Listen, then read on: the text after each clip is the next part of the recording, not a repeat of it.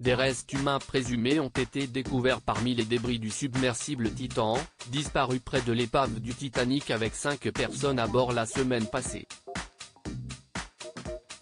Une information rapportée ce mercredi par les gardes-côtes américains via un communiqué. Les gardes-côtes américains ont annoncé ce mercredi 28 juin via un communiqué que les débris du petit submersible Titan, disparu près de l'épave du Titanic avec cinq personnes à bord la semaine passée, ont été repêchés et ramenés sur Terre. Alors que cela semblait impossible, des restes humains présumés y ont été découverts.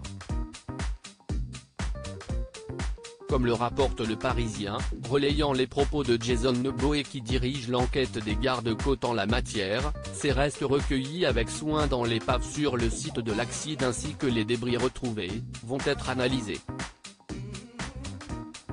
Ce qui devrait fournir de cruciaux éléments de compréhension de la cause de cette tragédie. Les médias canadiens ont montré des morceaux de ce qui ressemblait être le nez et des parties de la coque du submersible être hissées sur un navire canadien des gardes-côtes à Saint-Jean-de-Terre-Neuve, dans l'est du Canada, précise également le quotidien régional. A noter que les opérations de recherche sont à présent terminées. Nous avons terminé notre partie en mer, a déclaré à la le porte-parole de Pelagic Research Service, Jeff Money.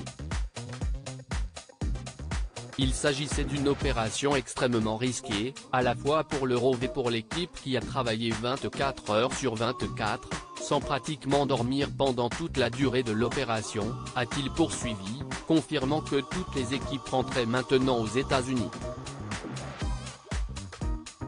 Précisons également que les autorités canadiennes, contactées par l'AF, refusé de commenter la récupération des débris du sous-marin. Les gardes-côtes américains quant à eux n'étaient pas joignables dans l'immédiat.